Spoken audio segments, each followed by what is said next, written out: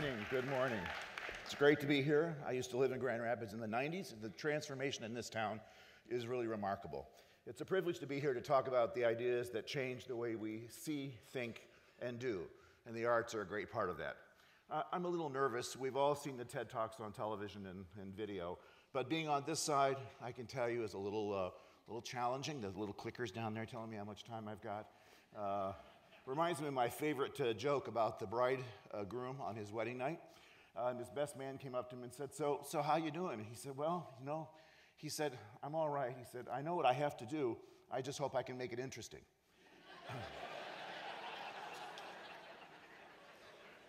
so I'm here to kind of make it interesting for you today. Not in that way, of course. So let's. How do we f- define X in terms of innovation? I'm an arts educator. I'm into the process of how people learn and put all this kind of stuff together. Um, and uh, I think it's a combination of multipliers it's people, it's learning, it's education, it's the arts, it's history. They're all X multipliers, they all exponentially go on from there. Innovation is not an isolated process. I think sometimes we, we think it is, but it's not. It's the sum of all of those parts, all those multipliers. And the arts have been a deep aspect of that innovation for years, and they're going to matter even more in our future. So, innovate. Little definition here make changes in something established, especially by introducing new methods, ideas, and products. That doesn't happen because, voila, we decide we're going to be uh, innovative. It, it comes over an accumulation of time and data and experience. Or it's introducing something new, such as a product or developing existing ones. Sometimes we talk about innovation as, if, as if it's an inanimate process. Uh, it can be mass produced. Um, it's a quick panacea to the challenges of our time, and certainly we think that it's going to be the answer to all of our issues here in the state of Michigan. Not. Uh, but it will help. Um, uh, the, the notion of innovation investment zones that I hear various governors around the country talking about don't work without innovative people and innovative cultures. You can't people teach people to just innovate, but you can create an environment in which innovation is critical. So, what is innovation and how do you foster it? I think it's a state of time in a mature society. I think it's the sum of learning and experience and knowledge and the arts from previous centuries. It's a 21st century phenomenon because we've arrived at this point in time. Last night I was talking to Mickey, one of our speakers, and we, we couldn't have had this conference 30 years ago. It just wouldn't have been possible. And the, the wonderful presentations you're hearing from people about interesting, innovative things that they're doing are here because of the time in which we live. Uh, it's a 21st century phenomenon based on what happened in the 14th and the 18th and the 20th centuries. And we can talk about innovation today because over time we've created these vast storehouses of information that can be accessed ubiquitously anywhere at any time. And it helps us then to process and look at how we learn and create differently over time. People ask me all the time, can, how can I make my kid more innovative? Can my kid be more innovative with the arts?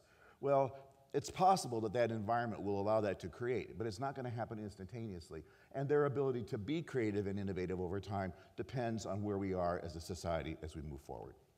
The creation and sharing of information has been a part of the human experience since the very beginning of time. The first written language in cave paintings 40,000 years ago uh, allowed us to have a perspective of language based on huge sculptures that were carved into the top of these, uh, of these uh, caves. And as a result, that allowed us to move to written language that was first artistic, and then we moved from there to smaller figures and hieroglyphs and petroglyphs, and ultimately to small characters as our quality of communication and complexity of communication in, uh, increased. Of course, uh, it allowed us then to see a progression of the arts throughout the time, as we're seeing on these slides here, uh, that mirrors the education of history and the education uh, of the arts at the same time. Uh, it has blurred us and allowed us to move into a more pervasive form of which the arts have been hand in hand with education through all, through all time. it has uh, blurred the lines of access and privilege and status and wealth to provide universal education for the arts. And as we accelerate through the ages, we find this remarkable place of the arts and education in society um, where we have technique and pedagogy and genre and motif and sound and sight and color and movement and consonance and dissonance, literal to abstract, of plays, poems, and histories, photography, motion picture, great works of music, marching faster and faster through time and history with increasing technologies and viewpoints, reacting to the complexity of issues facing each generation in each society in revolutionary new ways. It's the invention of the printing press in 1440 that started us on the pathway to the innovation that we enjoy today and that we seek to replicate for future times. it created an exponential increase in the importance and the value of the arts and education because information could finally be shared. It provided a system of mass distribution of ideas and information in books and libraries, newspapers and scientific research that slowly at first, because it took three months to travel from London to Rome, and then with increasing speed, crossing borders, cultures, race, and class. It created revolutions from political to scientific and artistic. It shared arts and shared cultures and helped us share values. And it dissolved the issue of class and access in the arts and education. Going back to Toffler's waves of change here, I think there's a pattern in this time continuum of the arts and education as we look over the centuries. Each period of change and growth uses learning and information differently. It's a hierarchy, really. And so, if we look at the currencies of these four major movements, uh, if you agree with Toffler's uh, particular theory, you'll see that uh, if innovation is the new currency for our future, for the virtual age, then invention was the currency of the agrarian industrial society. Education was what brought us from the agrarian society forward into the industrial society.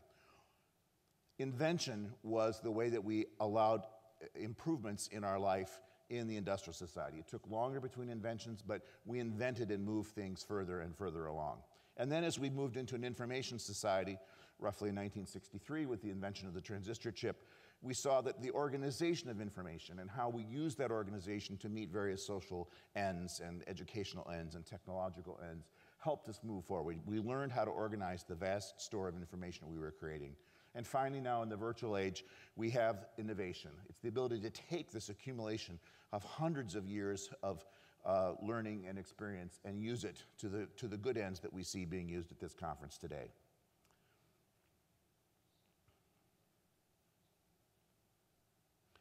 Um, if I were a mathematician, which I'm not, um, I would create an algorithm for this process. And so bear with me as you read these lines here greater access to education and the arts times increased information equals more ideas times the decreasing time between inventions and ideas, which equals increased innovation.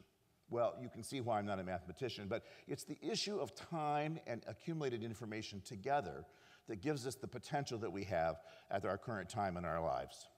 When we think that there were a 60 year gap of time between the discovery of electricity and the first electric generator. And then 40 years then until the invention of the telegraph. And then 30 years to the telephone, 20 years to the phonograph, seven years to radio, and so on and so on. Now, the average lifespan of a new piece of technology today is about less than two months. I mean, last year's iPad, quite frankly, was obsolete when it was shipped. I'm on my second one already. How many are waiting for the third? How many are waiting for their fifth iPhone? All those are advances that are happening so quickly that it's virtually impossible to keep up with that flow. If we look at Bloom's taxonomy, um, we're, we're, talking about in, in the uh, era of um, uh, innovation are the upper level parts of Bloom's taxonomy. We tend to focus in education right now way too much on the bottom simple knowledge, comprehension, and application. But it's the analysis and synthesis and evaluation that allows us to move up to the creativity that we aspire to on such a regular basis. So, the ready storehouses of vast information that we have are helping people to think differently. Last uh, week on campus, we had one of our senior, uh, uh, senior uh, visual art thesis uh, shows, and I was struck by the combination of interdisciplinary uh, visual art projects that use creative writing and science. in this case, Ben Corwin took a series of cubes and other objects in which were embedded found pieces of art and organize them and then watch them melt over the course of the, uh, uh, of the evening. So the art itself changed, not only helping us discover new art and new shapes and new forms, but also changing the very nature and relationship of the chemicals to each other throughout the process. Uh, it was a fascinating way to look uh, at this information, and students are now using and applying those things on a regular basis. We had a student, Victoria Maxfield, who was totally, completely scared to death by bugs. She so wasn't doing particularly well in our biology class. But she became fascinated with, with the, the exosystem of bugs and decided that uh, there was such an incredible structure of the carapace and the, the outer shell of various beetles and bugs that she began to weave this literally into her own work. She's a fiber artist, and so she created 36 of these different bugs, all made out of gorgeous sequins, completely to scale um, and in complete replication uh, of the actual uh, bug itself. Uh, here, these are made out of sequins and silk thread uh, in gold and silver. And uh, it's really in a remarkable way that she uses it and describes this in her own writing of how she uh, has this particular type of understanding. So we're still trying to solve some of the same issues that we've been looking at for a long period of time uh, faster communication, cures for disease, better health, ways to better living in our society, solving complex environmental and human issues, organizing, analyzing, and finding new ideas. In many ways, being innovative is much harder than being inventive because it requires a continuous process.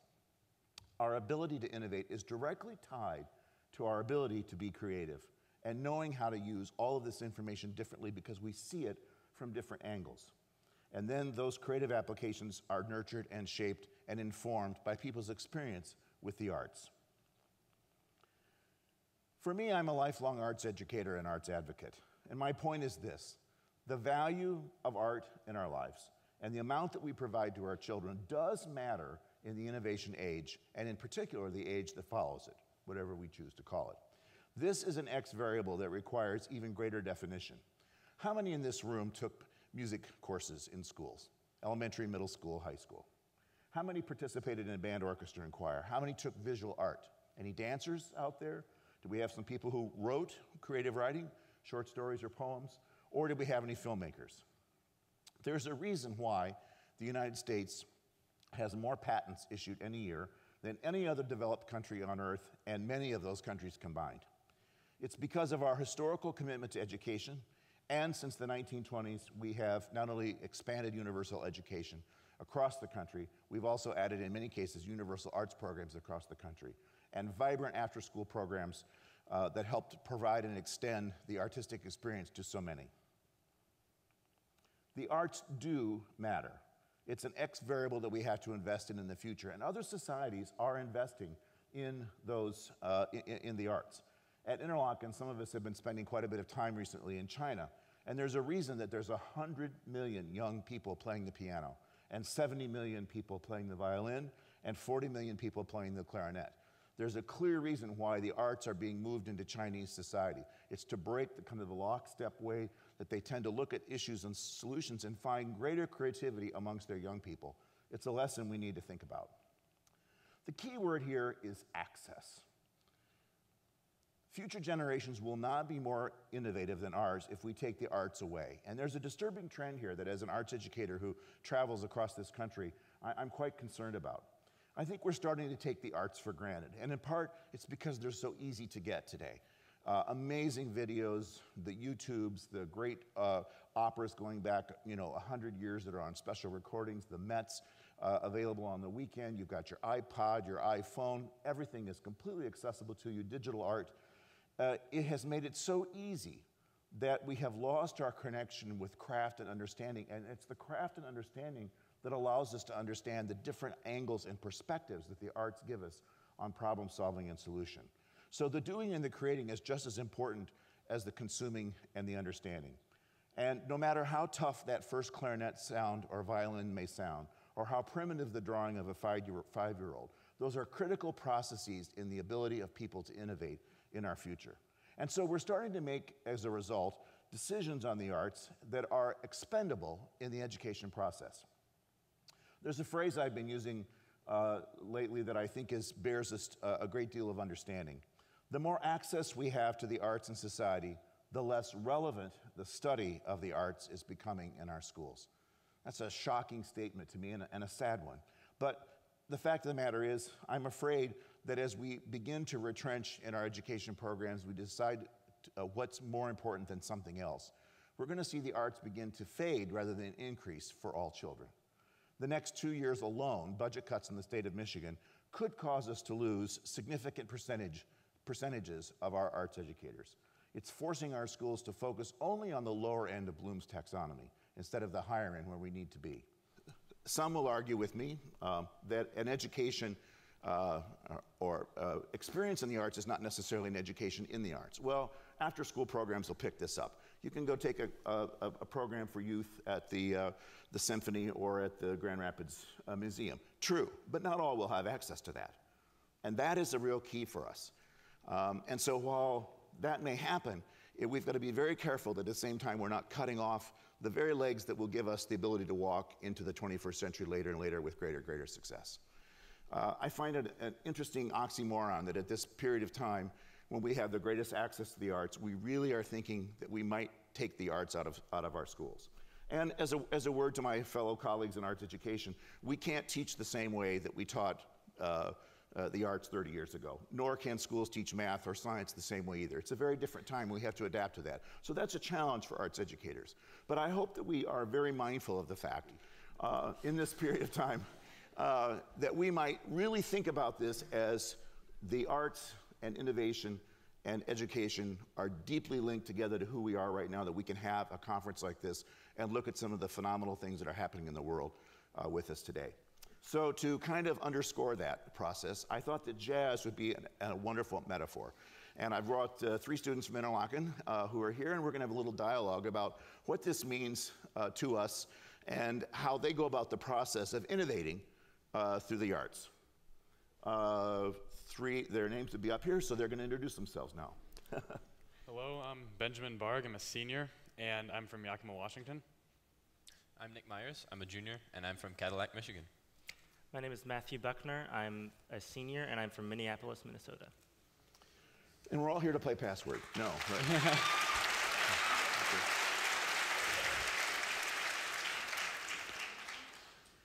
um, so, if jazz is a metaphor for the process of innovation, and it's a question of a layering experience, when you first hear those first notes, what goes through your head?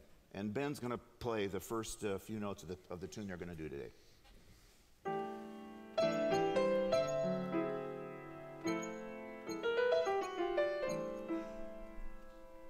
All right? You obviously know it. Take the a train, good. Oh, well, now some of your previous experience may not have been there. I don't know.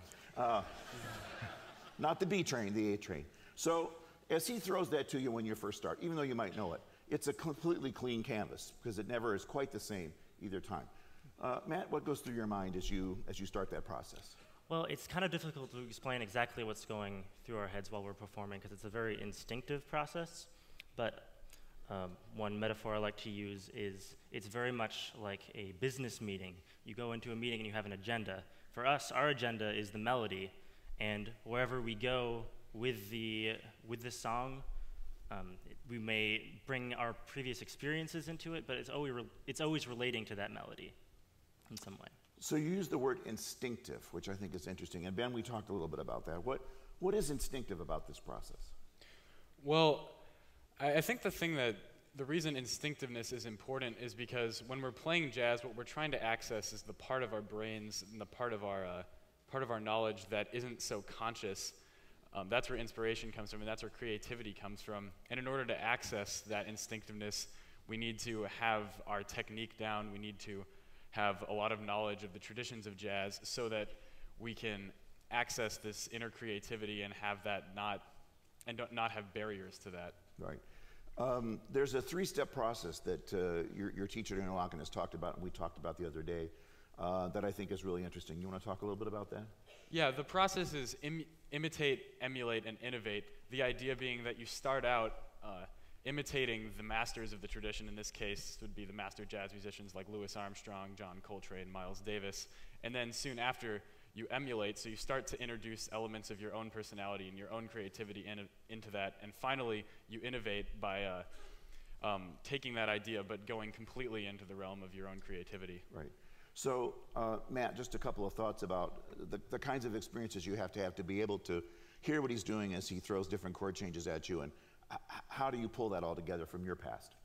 Well, for me, um, it's it's very much like a three-way conversation. I hear what Ben is doing, and if he if he uh, would play something that would remind me of one of the great jazz musicians of the past, um, I would support that in a way that historically would make sense and um, then bring my own background into it. And it just kind of keeps going like that, where it's a, like a dialogue, a musical dialogue. Right. Is it ever the same? Do you f- have fun messing with each other's heads as you throw things at them? Yeah. Well, it can be the same if you if you don't have your head into it and you're not alert, and you're not listening. But the idea is that uh, you're always ready and you're always taking the part out of your of your mind out that's worrying and that's fearful and just allowing the things to happen. And if that happens, then it's I think it's never the Right. same. Uh, ben is a mathematician supreme as well as being a pianist. You're going to go to Columbia next year. Yes. Uh, you, what's, the, what's the mix between math and, and music? I think for me, the thing that's most fascinating about the connection between math and music is I think at the heart of both disciplines, there's something irrational and something that's beyond our capability to understand. Like, I don't necessarily understand everything about the uh, creative capabilities inside of me. And in a lot of studies of mathematics, there's so many properties of numbers that seem almost chaotic. And I see the connection, and it's, it's very interesting for me to explore that. Matt, you're going to Mi- University of Miami next year, and you made a very conscious decision. Why? Well, because um, as I want to uh, start a career in music, and in order to do that, along with any career, you I want to get as wide of a background as I can, and I think going to somewhere with such diversity um, would really benefit me Right. in that way. Now, you haven't heard Nick talk because he's a little shy. But Nick said there's one thing that you need to know about the bass player, and that is Um, I'm just kind of like the glue that keeps things together uh, with the rhythm and the harmony. Right. So, so there you go. That's the perfect bass player response, and they did it all without PowerPoint.